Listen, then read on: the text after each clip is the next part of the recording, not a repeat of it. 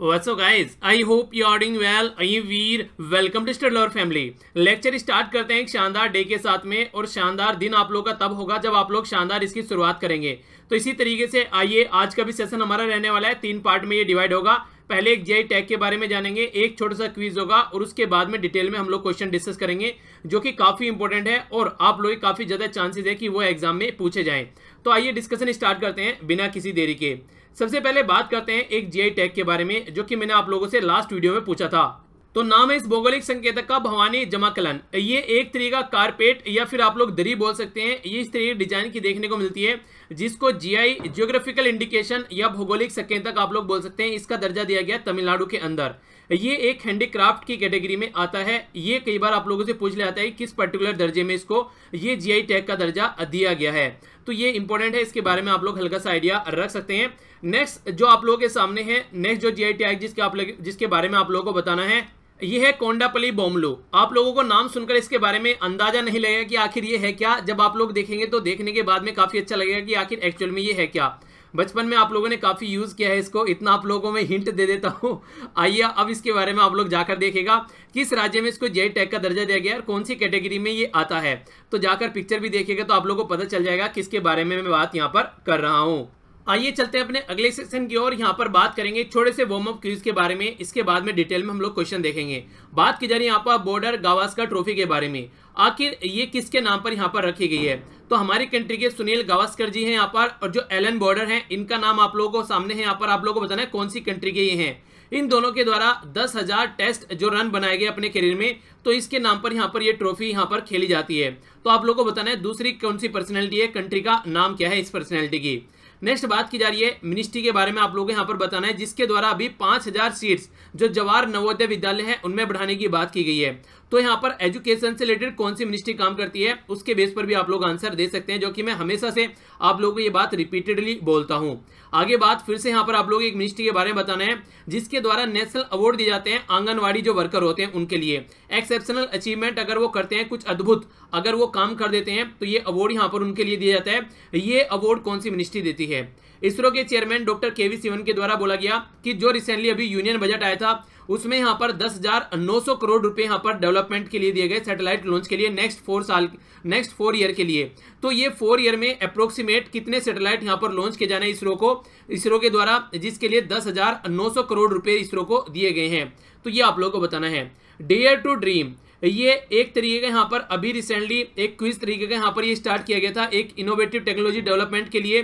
तो आप लोग कोई भी ऐसा डेवलपमेंट अगर करेंगे तो यहाँ पर इसके बारे में आप लोग को बताना है कि किसके द्वारा ये स्टार्ट किया गया था, किस ऑर्गेनाइजेशन के द्वारा। यानी कि कुछ ऐसा इनोवेटिव आइडिया लेकर अगर आप लोग जाते हैं, वहाँ पर कुछ ऐसा बनाकर तो यहाँ पर ये कि आप लोगों को यहाँ पर इसके तहत कई सारे अच्छे अच्छे प्राइज भी दिए गए थे। तो ये आप लोगों को बताना है किसके द्वारा यहाँ पर ये स्टार्ट किया गया था, जो कि काफ़ी इंटरेस्टिंग और इंपॉर्टेंट है। और यहाँ पर ये भी हुआ था, आप लोगों को साथ याद होगा, इसकी डेट पहले कम थी, फिर आगे डेट एक्सटेंड कर दी गई थी और मैंने बोला था, फिर से आप लोग जाकर अप्लाई कर सकते हैं। नेक्स्ट किस कंट्री के द्वारा यहाँ पर बोला गया है रिसेंटली अभी कि ड्रोन जो है, जो अंधाधुंध यहाँ पर आज के में उड़ाए जा रहे हैं तो उनको यहाँ पर गलत तरीके से अगर देखा जाएगा तो लोगों को पनिश किया जाएगा, ताकि यहाँ पर जो ड्रोन वगैरह है, उसको ढंग से उड़ाया जाए या फिर बहुत लार्ज स्केल पर बिना किसी की इजाज़त के वैसे उड़ाए जा रहे हैं, वो भी यहाँ पर देखने को नहीं मिलेगा। नेक्स्ट बात की जा रही है अटल आयुष्मान। ये एक तरीके की योजना है। तो ये योजना किस राज्य के द्वारा लॉन्च की गई है? अटल आयुष्मान यहाँ पर उस राज्य का नाम है। तो इस राज्य के द्वारा लॉन्च की गई है। वो राज्य कौन सा है? नेक्स्ट बात की जा रही है सिंगलीला नेशनल पार्क। ये कहाँ पर सिचुएटेड है हमारी कंट्री में? ये क्वेश्चन है तो नीचे अपना स्कोर ज़रूर लिखेगा जब आप लोगों को आंसर बताऊँगा कि स्कोर आप लोगों का कितना रहा। ऑस्ट्रेलिया के एलन बॉर्डर और हमारी कंट्री के सुनील गावस्कर जी के नाम पर यह ट्रॉफी इंडिया और ऑस्ट्रेलिया के बीच में खेली जाती है। ह्यूमन रिसोर्स डेवलपमेंट मिनिस्ट्री, जो कि प्रकाश जावड़ेकर जी के अंडर में है यहाँ पर, इसके द्वारा बोला गया कि पाँच हज़ार नई सीट यहाँ पर लानी है अभी जवाहर नवोदय विद्यालय के अंदर। Women and the child development minister, Maneka Gandhi ji के द्वारा कंफर्म किया गया यहाँ पर, जो भी नेशनल अवार्ड दिए जा रहे हैं आंगनबाड़ी वर्कर के लिए एक्सेप्शनल अचीवमेंट के लिए।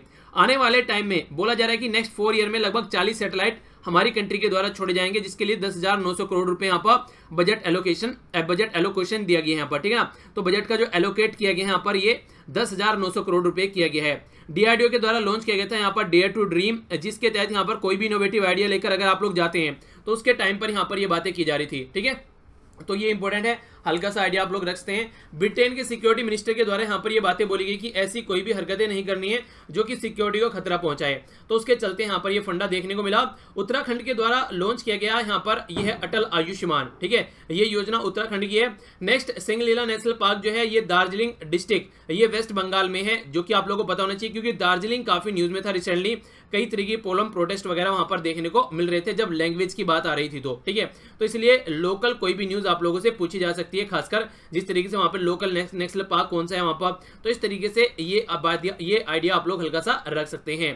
तो अपना स्कोर ज़रूर बताएगा कैसा आप लोग का स्कोर रहा, ताकि मुझे पता चले कितना सीरियसली आप लोग लेक्चर को फॉलो कर रहे हैं। बात करते हैं अगले क्वेश्चन की, काफ़ी इंपोर्टेंट क्वेश्चन है। वेनुजुला आज के डेट में बहुत ज़्यादा न्यूज़ में है। तो वेनुजुला को यह बताया गया कि कौन से के साथ में कंट्री की बॉर्डर टच करती है। पेरू बोला गया है, दूसरा ब्राज़ील कोलंबिया सुरीनाम और यहाँ पर है ग्याना तो कौन सी कंट्री के साथ में बॉर्डर टच करती है? ए में बोला गया वन टू थ्री बी में बोला गया one two three five C में बोला गया टू थ्री फाइव डी में बोला गया one three one three four five तो ये मैंने आप लोगों को कम से कम अगर ना भी जानने में देखा जाए तो आप लोगों को तीन चार महीने के अंदर ये कंट्री में लगभग आठ या नौ बार आप लोगों को मैप में दिखा चुका हूँ। और बार बार आप लोगों को आसपास वाला एरिया बताता हूँ। तो अब आप लोगों का टाइम आ गया आंसर देने का। आंसर बताइए। आइए आंसर देख लेते हैं एक बार। आंसर जो है यहाँ पर, ये देखिए, ये हो गया वेनुजुला यहाँ पर आप लोग कोलंबिया देखने को मिलेगा, नीचे ब्राज़ील और यहाँ पर होगा ग्योना ठीक है? यहाँ पर देखते हैं। जो पेरू बोला गया है, पेरू तो यहाँ पर है ही नहीं है आसपास भी, अगर आप लोग देखेंगे, ये काफ़ी दूर है यहाँ पर, और जो सुरीनाम बोला गया है, वो यहाँ पर बीच में ग्याना आ जाता है सुरीनाम आप लोग को यहाँ पर देखने को मिलेगा। तो इस तरीके से आप लोग इसको अंडरस्टैंड कर सकते हैं। तो आंसर सी हो गया यहाँ पर। क्या हो गया आंसर आंसर हो गया C two three and five two पे क्या है ब्राज़ील थ्री पे क्या है यहाँ पर कोलंबिया और फाइव पे है ग्याना ठीक है? तो पेरू और सुरीनाम यहाँ पर नहीं है। आगे बढ़ते हैं। अगले जो दो क्वेश्चन है काफ़ी इंपोर्टेंट और आप लोगों के माइंड में काफ़ी क्लैरिटी लेकर आने वाला है। पहला क्वेश्चन आप लोगों के सामने है, ये भारतमाला भारतमाला परियोजना के बारे में। ये इसके बारे में बोला गया कि कौन सी स्टेटमेंट इनकरेक्ट है। पहली स्टेटमेंट है, भारतमाला परियोजना, ये सेंटर के द्वारा स्पॉन्सर्ड स्कीम है, यानी कि सेंटर के द्वारा चलाई गई योजना है, जो कि फंड प्रोजेक्ट है यहाँ पर जो प्रोजेक्ट स्टार्ट किए गए हैं, ये खासकर, ये ministry of road transport and highway यहाँ पर काम करती है। इसी के साथ में बोला गया है कि ये शॉर्ट फॉल करती है, इनके मिस करती है नॉर्थ ईस्ट वाले एरिया को कनेक्ट नहीं करती है, जो भारतमाला प्रोजेक्ट है। आंसर पूछा गया कि कौन सा आंसर यहाँ पर इनकरेक्ट है। तो आइए एक बार आप लोग समझ लीजिए ताकि आप लोगों के माइंड में कोई कंफ्यूजन ही ना रहे इस तरीके का। भारतमाला जो प्रोजेक्ट है, ये ये भारतमाला जो परियोजना आप लोग बोल सकते हैं, ये हमारी कंट्री का जो ऊपर वाला एरिया है खासकर, ये हो गया यहाँ पर आप लोगों को देखने को मिलेगा जो मेन लैंड है। उसको कनेक्ट करने की बात की गई है और पूरे नॉर्थ ईस्ट वाले एरिया को भी कनेक्ट करने की बात ये करता है। सेंटर के द्वारा फंड की गई है ये ministry of road transport and highway. ये आप लोग यहाँ पर मिनिस्ट्री देखने को मिलेगी। तो आंसर क्या हो गया? आंसर हो गया यहाँ पर बी। यानी कि आप लोग देखेंगे आंसर क्या हो गया यहाँ पर? आंसर हो गया बी, क्योंकि इनकरेक्ट पूछा गया है। नॉर्थ ईस्ट वाले एरिया को कनेक्ट करती है, ऐसी बात नहीं है। इसी के अपोजिट एक और क्वेश्चन आप लोगों का बनता है यहाँ पर। वो क्वेश्चन है, ये यहाँ पर आप लोगों के सामने। यहाँ पर पूछा गया सागरमाला प्रोग्राम के बारे में। भारतमाला जो प्रोग्राम है और सागरमाला जो प्रोग्राम है, उन दोनों में भी आप लोग डिफरेंस समझ पाएँगे। तो एग्जामिनेशन हॉल में आप लोग इसको गलत नहीं करेंगे। इसलिए मैंने दोनों क्वेश्चन एक साथ में डाले हैं बनाकर यहाँ पर, ताकि आप लोग दोनों में डिफरेंस समझ सकें और एग्ज़ाम में कोई कंफ्यूजन माइंड में न रहे। यहाँ पर भी जो पूछा गया है, वो इनकरेक्ट क्वेश्चन आप लोगों से पूछा गया है। सागरमाला जो प्रोग्राम है, ये फ्लैगशिप प्रोग्राम है ministry of road transport and highway का प्रमोट करने के लिए port led development in the country क्या स्टेटमेंट सही है? दूसरी स्टेटमेंट में बोला गया है, लगभग 60 परसेंट ऑफ़ इंडिया यहाँ पर जो जो वॉल्यूम ट्रेड होता है, वो मैरी टाइम रूट से होता है, यानी कि समुद्र से होता है। तो इसलिए यहाँ पर ये डेवलप करेंगे पोर्ट तो ये ट्रेड काफ़ी आसान रहेगा और इंफ्रास्ट्रक्चर भी काफ़ी डेवलपमेंट यहाँ पर हो जाएगी। तो कौन सी स्टेटमेंट यहाँ पर इनकरेक्ट है, ये आप लोग को बताना है। ए में बोला गया यहाँ पर ओनली वन बी में बोला गया ओनली टू सी में बोला गया बोथ और डी में बोला गया नन ऑफ़ द अबो तो जो आंसर हो गया, ये हो गया सी यानी कि बोथ इनकरेक्ट है. रीजन क्या है? रीजन यहाँ पर रोड ट्रांसपोर्ट मिनिस्ट्री काम नहीं करेगी भैया, क्योंकि यहाँ पर पानी की बात की जा रही है। तो अभी देखेंगे कौन सी मिनिस्ट्री काम करेगी। दूसरा यहाँ पर ये सिक्सटी परसेंट नहीं है, ये मेरी टाइम की जब बात की जा रही है तो काफ़ी लार्ज हमारा जो है यहाँ पर, खासकर अगर कंट्री का आप लोग ये ट्रेड की बात करेंगे तो बहुत लार्ज ट्रेड डिपेंड करता है, लगभग नाइनटीज के अप्रोक्सीमेट में। सबसे पहले आप लोग यहाँ पर देखिए, भारतमाला जो प्रोजेक्ट है, वो आप लोग देखिए, वो था ऊपर वाले एरिया के लिए। और जब सागर माला प्रोजेक्ट है, ये है खासकर समुद्र की बात की जा रही है, ये ऐसी माला बनाई जाएगी जो हमारी कंट्री के पोर्ट हैं, जैसे कांदला हो गया, ठीक है? ये सारे जो पोर्ट आप लोग यहाँ पर, ये वेस्टर्न घाट हो गया और ये ईस्टर्न घाट हो गया। हल्दिया पैरादीप विशाखापट्टनम इन्नूर, चेन्नई, ये टूटीकोरिन कोची मैंगलोर, ये इस तरीके से जो सारे पोर्ट हैं, इन पर इंफ्रास्ट्रक्चर डेवलपमेंट करने की बात की जा रही है, ताकि एंट्री के जो जो हमारी कंट्री है, उसके इंटरनल पार्ट से भी इनको अच्छे से कनेक्ट किया जा सके। मान लीजिए कोई रॉ मटेरियल लेके आना है या फिर कोई फिनिश गुड प्रोजेक्ट लेकर आना है तो यहाँ पर एक तरीके से लॉजिस्टिक प्रोवाइड कराया जाएगा कि आसानी से यहाँ पर चीज़ों को भेजा जा सके एक जगह से दूसरी जगह पर। ये हमारी कंट्री की जो बाउंड्री है, ये लगभग ये आप लोगों को 7,500 किलोमीटर के करीब कोस्टल बाउंड्री हमारी देखने को मिलती है। तो इस कोस्टल बाउंड्री को डेवलप करने की बात की जा रही है। इसी कोस्टल बाउंड्री से हमारी कंट्री का जो अरेबियन सी के थ्रू होते हुए या फिर बे ऑफ़ बंगाल के थ्रू होते हुए ये जो व्यापार होता है इसका वॉल्यूम लगभग 90 परसेंट है। जो 60 परसेंट बोला है वो भी गलत है ठीक है? और मिनिस्ट्री ऑफ़ शिपिंग जो यहाँ पर काम करने वाली है ये है मिनिस्ट्री ऑफ़ शिपिंग ना कि रोड एंड ट्रांसपोर्ट हाईवे क्योंकि यहाँ पर बात जो की जा रही है वो पानी की की जा रही है। तो इस तरीके से भी आप लोगों के माइंड में हल्का सा आइडिया सा होना चाहिए। तो वाटरवेज को कैसे डेवलप किया जा सकता है? और ऐसी बात नहीं है रेल और रोड डेवलप नहीं करेंगे। वो भी डेवलप करेंगे, पर लेकिन मेन कनेक्टिविटी प्रोवाइड कराने के लिए डेवलप करेंगे इन पोर्ट के थ्रू तो इसलिए मैंने आप लोगों को बोला दोनों क्वेश्चन इसीलिए मैंने साथ में लिए, ताकि सागर माला और भारत माला यानी कि भारत जो यहाँ पर परियोजना है, दोनों के बीच में आप लोगों को कन्फ्यूज़न यहाँ पर समझ में आ जाए और कोई कन्फ्यूज़न आप लोगों के माइंड में न रहे। तो इस तरीके से आप लोग समझेंगे, इसका आंसर हो गया यहाँ पर क्या? ये आंसर हो गया सी ओके आइए अब आगे बढ़ते हैं। अगला क्वेश्चन यहाँ पर बात कर रहा है जी आई ए एन के बारे में। तो ये है क्या? ये एक तरीके से बोला गया इसको global initiative of academic networks ये हायर एजुकेशन के लिए हमारी कंट्री में एक सिस्टम प्रोवाइड कराने की बात की जा रही है, पहली स्टेटमेंट दूसरी स्टेटमेंट बोला जा रहा है ministry of human resource and development की बात की जा रही है। तो कौन सी स्टेटमेंट इनकरेक्ट है? तो इनकरेक्ट के बारे में पूछा गया है। तो आंसर क्या होगा? ए में बोला गया है ओनली वन बी में बोला गया ओनली टू सी में बोला गया बोथ डी में बोला गया नन ऑफ़ द अबव तो देखिए, सबसे पहले अगर मिनिस्ट्री की बात करी जाए एजुकेशन की अगर बात हो रही है तो मिनिस्ट्री तो यहाँ पर यही होगी, ये तो आप लोगों के माइंड में कन्फर्म होना चाहिए, क्योंकि जब भी एजुकेशन या कुछ ऐसे सिस्टम की बात आगी तो वहाँ पे human resource and development ministry होगी। क्यों? क्योंकि ह्यूमन रिसोर्स यहाँ पर बनाया जा रहा है। वो क्या होता है? जब अच्छे एजुकेशन देते हैं, अच्छी अच्छी हेल्थ रहती है तो एक ह्यूमन जो है वो ह्यूमन कैपिटल बन जाता है। तो इस तरीके से आप लोग अंडरस्टैंड कर सकते हैं। और ये जो जी आई ए एन ये नेटवर्क यहाँ पर क्रिएट करने की बात की जा रही है, ये हमारी कंट्री में हायर एजुकेशन का जो सिस्टम है, उसको इम्प्रूव करने की कोशिश की जा रही है। और जब हम लोग हायर एजुकेशन की बात करते हैं तो जो हमारी अच्छी कंट्री के अच्छे अच्छे इंस्टीट्यूशन है, यानी कि आई वगैरह आई वगैरह, उनकी रैंकिंग की भी बात की जाती है। कैसे हम लोग उनकी रैंक जो है, वो ग्लोबल रैंकिंग में ला सकते हैं। तो वो भी बैकग्राउंड में एक प्रोजेक्ट पूरा चलता ही रहता है। तो दोनों ही स्टेटमेंट यहाँ पर करेक्ट है तो इसलिए आंसर डी हो गया, क्योंकि यहाँ पर इनकरेक्ट पूछा गया है।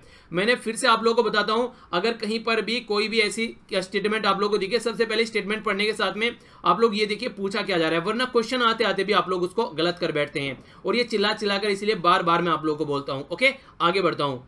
कुछ स्टेटमेंट यहाँ पर आप लोगों के सामने दे रखी हैं। इन स्टेटमेंट में से यहाँ पर ये बताना है, ये किससे रिलेटेड है? ठीक है? तो सबसे पहले बात की जा रही है कि ये पाया जाता है यहाँ पर केबुल लमजाओ नेशनल पार्क के अंदर में। ठीक है? नीचे चार नाम दे रखे हैं यहाँ पर। एक है डियर के बारे में हिरन के बारे में, एक है टाइगर दूसरा है लोयन और एक है यहाँ पर ब्लैक बक के बारे में। तो यहाँ पर किसके बारे में ये स्टेटमेंट चाहिए? ये है आप लोगों के सामने क्वेश्चन ये पाया जाता है यहाँ पर, ये है ये है यहाँ पर केबुल लैमजाओ नेशनल पार्क के अंदर। दूसरा, ये एक इंडेंजर्ड कैटेगरी में आता है आईयूसीएन की लिस्ट के हिसाब से। तीसरा यहाँ पर बोला गया है, इसको थ्रेट रहती है, खासकर डिज़ीज़ वगैरह की जो कई बार लग जाती है। डिप्रेशन या फिर पोचिंग का भी काफ़ी शिकार ये होता है। तो ये कई बार यहाँ पर सिचुएशन देखने को मिलती है। तो कौन सी स्टेटमेंट इससे रिलेटेड करेक्ट है, ये क्वेश्चन आप लोगों से पूछा गया है। यानी कि क्या है यहाँ पर? ये बात की जा रही है ब्राउन एंटिलर डियर या फिर बंगाल टाइगर या फिर एशियाटिक लायन या फिर ब्लैक बग तो क्या है ये एक्चुअल में? आंसर आइए देख लेते हैं। आंसर से रूबरू करा देता हूँ। ये एक तरीके से यहाँ पर जो बात की जा रही है डियर है आप लोगों के सामने। डांसिक डियर भी इसको बोला जाता है ब्रो एंटिलर डियर भी इसको बोला जाता है, ठीक है? और इसी के साथ में संगाई, ये भी इसी के नाम सारे आप लोगों को यहाँ पर पुकारने को, देखने को मिलेंगे। स्टेट की बात करें तो एनिमल अगर मणिपुर की बात करें इसको तो इसको एक तरीके से स्टेट एनिमल का दर्जा दिया गया, मणिपुर के अंदर schedule first wildlife protection act 1972 के हिसाब से ये इंडेंजर्ड कैटेगरी रेड लिस्ट में भी आता है।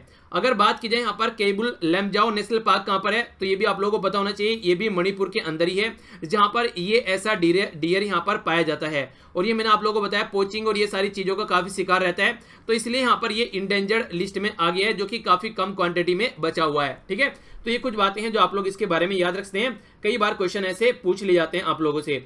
तो आंसर क्या हो गया? यहाँ पर इसका आंसर हो गया इसका ए ठीक है? यानी कि ब्रो एंटिलर्ड डियर, ओके? आगे चलता हूँ। काफ़ी इंटरेस्टिंग और काफ़ी इंपॉर्टेंट क्वेश्चन है यहाँ पर। हमारी कंट्री में जो सेंटर है सेंट्रल गवर्नमेंट के पास में जो जो यहाँ पर counter terrorism law enforcement agency वो कौन सी है? यानी कि अगर कोई टेरिस्ट एक्टिविटी होती है तो कौन सी एजेंसी है जो हमारी कंट्री में उसको टैगल करती है? Counter terrorism and counter radicalisation division A में ये बोला गया है बी में बोला गया है national counter terrorism centre C में बोला गया है research and research and analysis wing जिसको आप लोग रो बोलते हैं। और डी में बोला गया नेशनल इन्वेस्टिगेटिंग एजेंसी यानी कि एनआईए तो आंसर आइए देख लेते हैं ताकि आप लोग अंडरस्टैंड कर पाए। आंसर है डी क्या हो गया यहाँ पर? नेशनल इन्वेस्टिगेटिंग एजेंसी जिसको सेंट्रल एजेंसी बोला जाता है यहाँ पर, खासकर जो कि टेरर को कम्बैट करने के लिए हमारी कंट्री में बनाई गई है। इसीलिए इसको central counter terrorism law enforcement agency भी बोलते हैं। कोई भी क्राइम एक्ट, क्रिमिनल एक्टिविटी ऐसी होती है तो किसी भी राज्य के अंदर जाने के लिए इसको उस राज्य की परमिशन लेने की ज़रूरत नहीं पड़ती है बिना परमिशन के राज्य में एंट्री ये कर सकती है। बनाई कब गई थी? मुंबई टेरर अटैक हुआ 2008 में। उसके बाद में यहाँ पर ये हम लोगों ने बनाया रियलाइज़ किया कि हाँ ऐसी कोई एजेंसी होनी चाहिए जो कि यहाँ पर राज्य की कोई बाउंड्री माने ही ना कि कोई बाउंड्री भी है। पूरी कंट्री को कैसे सिक्योर करना है और टेरिस्ट एक्टिविटी को कैसे कंट्रोल करना है? क्योंकि टेररिस्ट एक्टिविटी आज के डेट में ग्लोबलाइज्ड फिनोमिना हो चुकी है। अगर हम लोग अपनी ही कंट्री में कुछ ऐसे विघन रखेंगे कि हाँ इस राज्य में जाना है, इस राज्य में नहीं जाना है तो कभी भी टेररिस्ट को नहीं पकड़ पाएँगे क्योंकि वो यूपी से बिहार और बिहार से नीचे मध्य प्रदेश और मध्य प्रदेश से फिर नीचे महाराष्ट्र, नीचे होता हुआ तमिलनाडु, केरला पहुँच जाएगा। स्टेट चेंज करता रहेगा और कोई भी उसको पकड़ नहीं पाएँगे। तो इसलिए यहाँ पर कोई स्टेट की बाउंड्री नहीं है जहाँ पर चाहे ये एंट्री कर सकते हैं। इसीलिए यहाँ पर ये इसको यहाँ पर टैकल करने के लिए हमारी कंट्री में 2008 में बनाया गया था, ओके? तो आंसर क्या हो गया? आंसर हो गया डी, यानी कि एनआईए नेशनल इन्वेस्टिगेशन एजेंसी। बात करते हैं अगले क्वेश्चन की इंटरेस्टिंग इंपॉर्टेंट है और खासकर इस साल के लिए इसकी इंपॉर्टेंस थोड़ी और ज़्यादा बढ़ जाती है। पूछा गया कि इनकरेक्ट बताना है आप लोगों को इंटरनेशनल लेबर ऑर्गेनाइजेशन के बारे में। इंटरनेशनल लेबर ऑर्गेनाइजेशन का जो गठन किया गया था, वो 1919 में किया गया था। ये बोला जा रहा है, क्योंकि यहाँ पर यह बोला जा रहा है कि इसके 100 साल कंप्लीट हो चुके हैं, इसलिए हंड्रेड एनिवर्सरी सेलिब्रेट कर रहा है। तो क्या ये स्टेटमेंट सही है? बाकी ये मैं आप लोग कई बार बता भी चुका हूँ, अगर आप लोग याद करते हैं उन चीज़ों को तो नेक्स्ट बोला जा रहा है आईएलओ यानी कि इंटरनेशनल लेबर ऑर्गेनाइजेशन के द्वारा यहाँ पर लॉन्च किया गया फ्यूचर ऑफ़ वर्क इनिशिएटिव ये इसके द्वारा यहाँ पर स्टेट किया गया सोशल जस्टिस प्रोवाइड कराने के लिए जनता को। ये इसके द्वारा लॉन्च इनिशिएटिव है। तीसरी स्टेटमेंट है कि आईएलओ एक ओनली ट्राइपार्टाई यूएन की एजेंसी है। जहाँ पर टुगेदर काम किया जाता है लाने के लिए गवर्नमेंट इंप्लॉई और जो वर्कर हैं, सारे को यहाँ पर मिलकर काम कराने की बात की जाती है। तो कौन सी स्टेटमेंट यहाँ पर इनकरेक्ट है? तो आंसर है डी यानी कि कोई भी स्टेटमेंट यहाँ पर इनकरेक्ट नहीं है, सारी स्टेटमेंट यहाँ पर करेक्ट है। रीजन क्या है? रीजन यही आप लोग यहाँ पर देखते हैं, जो इसका गठन किया गया था, ये 1919 में किया गया था, जो कि यहाँ पर शानदार तरीके से काम करती है। ऑल ओवर वर्ल्ड में कहीं पर भी कोई ऐसी प्रॉब्लम देखने को मिलती है तो ये हमेशा पिक्चर में आती है। इंडिया फाउंडिंग मेंबर है, पर लेकिन बहुत सारे ऐसे इसके चीज़ें हैं जो हम लोगों के द्वारा रेटिफाई अब तक नहीं किए गए हैं। ओनली 189 जो इसके कन्वेंशन है, उनमें से ओनली 47 कन्वेंशन ही हमारे द्वारा रेटिफाई यहाँ पर किए गए हैं। तो क्वेश्चन ये भी बन सकता है कि ओनली हाफ़ कन्वेंशन हम लोगों ने रेटिफाई किए हैं, हाफ़ से ज़्यादा रेटिफाई किए हैं। तो हम लोगों ने बहुत कम कन्वेंशन अब तक यहाँ पर रेटिफाई हमारी पार्लियामेंट के द्वारा किए गए हैं। आईएलओ सेलिब्रेट कर रही है हंड्रेड ईयर तो इसलिए क्वेश्चन और इंपॉर्टेंट हो जाता है, क्योंकि सोवा साल यहाँ पर इसका हो गया है 2019 में, जो कि 1919 में क्रिएट की गई थी। इसी के साथ में यहाँ पर अगर बात की जाए न्यू इनिशिएटिव जो स्टार्ट किया गया है, ये फ्यूचर ऑफ़ वर्क इनिशिएटिव यहाँ पर, ताकि सोशल जस्टिस यहाँ पर लाया जा सके ऑल ओवर वर्ल्ड तो ये इसी के द्वारा यहाँ पर स्टार्ट किया गया है। तो ये तमाम क्वेश्चन के आंसर यहाँ पर देखेंगे तो आप लोगों को लगेगा आंसर डी है, यानी कि कोई भी गलत नहीं है, सारे सही हैं, ठीक है? आगे चलते हैं। बड़ा ही इंटरेस्टिंग और प्यारा सा क्वेश्चन है। ये बात की जा रही है बायोडाइवर्सिटी हेरिटेज साइट के बारे में। ये डिक्लेयर की जाती है एज पर यहाँ पर प्रोविज़न जो कि बायो जो कि बायोलॉजिकल डाइवर्सिटी एक्ट 2002 का है। उसके हिसाब से यहाँ पर बायोडाइवर्सिटी हेरिटेज यानी कि जैव विविधता, विरासत स्थल यहाँ पर डिक्लेयर किया जाता है। और करेक्ट स्टेटमेंट पूछा गया है। दूसरा बोला गया सेंट्रल गवर्नमेंट जो है वो नोटिफाई करती है एरिया यहाँ पर क्या इंपोर्टेंस है बायोडाइवर्सिटी हेरिटेज साइट दूसरी स्टेटमेंट यहाँ पर यह बोला गया है ए सही है ओनली वन बी सही है ओनली टू सी सही है बोथ डी सही है नन ऑफ़ द अबो तो कौन सा आंसर सही है? आंसर जो यहाँ पर आप लोगों के सामने होगा, वो करेक्ट पूछा गया और करेक्ट आंसर होगा ए जी हाँ यहाँ पर जो सेंटर बोला गया, ये सेंटर नहीं है। ये यहाँ पर स्टेट गवर्नमेंट काम करती है। स्टेट गवर्नमेंट काम करती है लोकल एरिया के साथ में कंसर्न कर कि क्या इस एरिया को बायोडाइवर्सिटी के लिए इंपोर्टेंस एरिया डिक्लेयर किया जा सकता है। तो ये काम सेंट्रल गवर्नमेंट का नहीं है, यहाँ पर राज्य गवर्नमेंट का है, ठीक है? और बाकी बायोलॉजिकल डाइवर्सिटी एक्ट 2002 के हिसाब से यहाँ पर काम किया जाता है। तो इसका सेक्शन जो एक्ट का यहाँ पर 37 है, वो ये पावर यहाँ पर सेंट्रल गवर्नमेंट के हाथ में नहीं है स्टेट गवर्नमेंट के हाथ में ये पावर देता है। तो बड़ी फ्रीक्वेंटली ऐसे क्वेश्चन बन जाते हैं। तो ये था हमारा आज का नन्ना सा प्यारा सा मुन्ना सा डिस्कशन आई होप कि आप लोगों को लेक्चर पसंद आया होगा. पसंद आता तो लाइक करना मत भूला कीजिए. नहीं पसंद आता तो डिसलाइक करने का भी पूरा हक है. बाकी लेक्चर की पीडीएफ डाउनलोड कर सकते हैं. लिंक वीडियो के नीचे डिस्क्रिप्शन बॉक्स में आप लोगों को मिल जाएगा. अगर नोटिफिकेशन नहीं मिलता है, जो कई बच्चों की प्रॉब्लम होती है तो टेलीग्राम ज्वाइन कीजिए, एकदम आप लोगों को नोटिफिकेशन मिलेगा यहाँ पर। तो इसको आप लोग ज्वाइन कर रखिए, ताकि आप लोगों को कोई भी वीडियो न छूटे। बाकी फेसबुक इंस्टाग्राम और ट्विटर पर आप लोग कनेक्ट रह सकते हैं। सारे लिंक वीडियो के नीचे डिस्क्रिप्शन बॉक्स में मिल जाएँगे। तो मिलता हूँ नेक्स्ट लेक्चर में। बड़ों को नमस्ते, छोटों को प्यार, छोटी सी लाइफ एंजॉय करो यार। तब तक के लिए जय हिंद।